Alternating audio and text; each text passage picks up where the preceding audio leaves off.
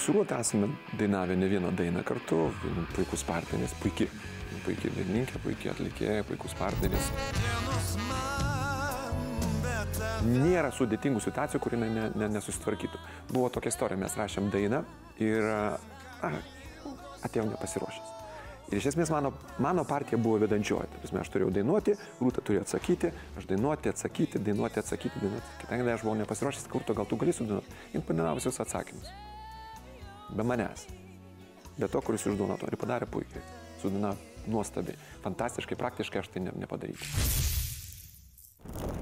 Rūta iš tikrųjų pirmiausia turbūt yra stabilumas žodis, kuris ateina į galvą galvojant apie ją, nes jis iš tikrųjų yra profesionalas visom prasmėm, kad, nes nu, mes puikiai suprantam, kas yra didžioji scena, kai būna daug pakartotinų veiksmų, kuriuos reikia atlikti, daug kamerų, daug skirtingų svetimų žmonių ir sako, tas tavo šimtas procentų, kokį tu turi, prie nepalankių aplinkybių jisai nubyra. Tai, Tai kuo stabilesnis yra atlikėjas, tuo jis yra patikimesnis šitoje vietoje. Tai aš rūtą palyginčiau su Mercedesu tiesą sakant, šiemet yra labai stipri atranka.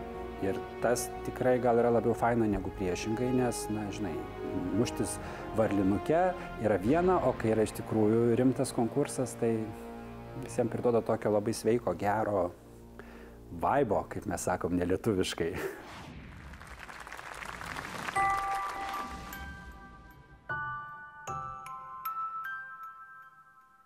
Have you seen the flower?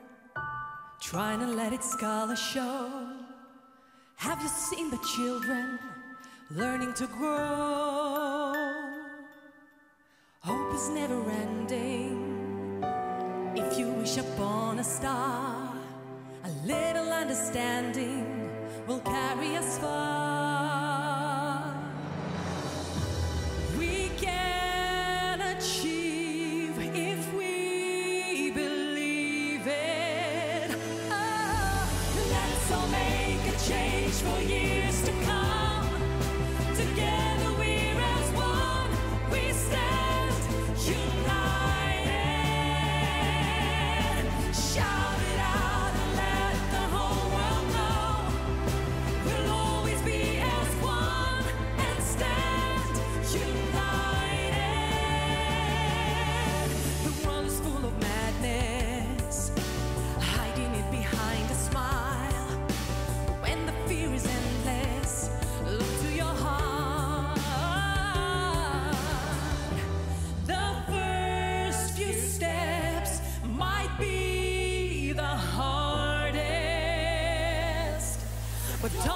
Afraid to go on. Let's all make a change for years to come.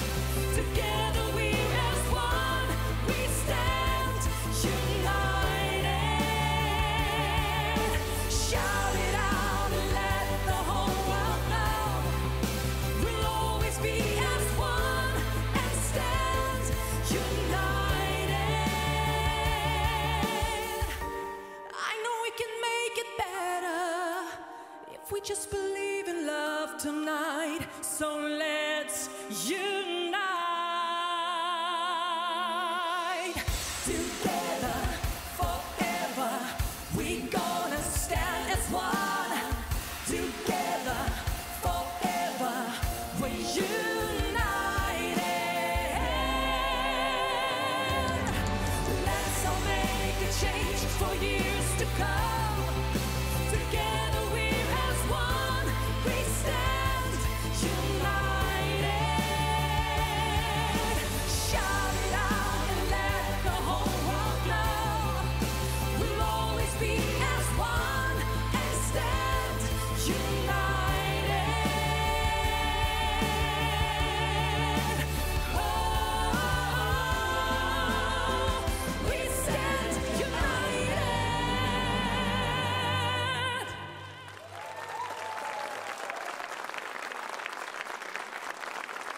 Ačiū labai. Tai jums ačiū, Rūta. Jums ačiū, jūs šventė įnešėte mūsų atranką. Iš tikrųjų, daina įkvepianti. Kas yra? Tada ačiū Dievui. Ačiū, ačiū ir jums, ir Dievui, ir ačiū komisijai, kurie šį vakarą e, klauso ištempę ausis. E, e, Muzikos kritikas Kazimiras Šiaulys, ko gero, pirmą vakarą girdėjo šį kūrinį. Kaip jo nuomonė? prisiminsiu Bilaną, believe, tikėk, taip? Šitame žodį, kaip ir jūsų United jungtinis, sudėkite visą, visą save, visą savo emocijas, visą savo gyvenimą su savo. Kad būtų sprogimas, reikia padaryti taip. Ir vis, kaip aš sakau, antroji pusė į čia dar, dar būtų gerai, kad daugiau tos kulminacijos ir ypač kūno kalbos jūsų reikia. Estradiškumo, kaip aš sakyčiau, gerąją prasme, būtent estrados orbitoje. Save matyti reikia ir jūs turi matyti, savo, jūsų įvaizdis turi būti dar ryškesnis. Tiek. Aha, spalvų, ryškesnių spalvų pageidavo Kazimiras. Nu, o dar už kuraičių viskas buvo pasaka, šventė širdį ir laimė bei vienybė. Gera daina, tai yra skonio reikalas, už ją balsuotum ar ne. Tačiau, kai ją atlieki tu, na, aš tikrai ko gero balsuočiau, nes tai yra įtikinama, gražu, gerai, profesionalu. Iš tikrųjų smagu tave matyti scenoje su tavo visais pritariamaisiais vokalais, kurie taip pat yra labai galingi ir šaunus. Ačiū tau. Ačiū labai. Taigi komisijos palankus vertinimai, tikimės, kad ir žiūrovai vertins palankiai. Rūta, gal galite žiūrovams skirti keletą žodžių savo, ne tik dainą. Oi, žinot, aš šiaip jau garsėjusi esu savo plepumu, bet kol kas, kiek balsas leidžia, tai pasakysiu trumpai. Labai ačiū už palaikymą ir labai jo tikiuosi ateityje. Ačiū Jums, Rūta. Mes net neabejojame, kad šį vakarą Jūs nepaliksite mūsų šau, bet dėl viso pikto Rūtos Ščiogliavaitės numeris yra 05. Kartais tiesiog pagalvoju, kad būna, kai, nu žinot, gyvenime iškrečia pokštą, koks nors virusas, tai jisai būtinai turi iškrėsti tą dieną, kai reikia dainuoti. Bet jis nepamaišė. Uh, nu, tikrai nepadėjo. nepadėjo. Vis tiek jautiesi, jautiesi ne, ne tiek stipriai, kada sergi.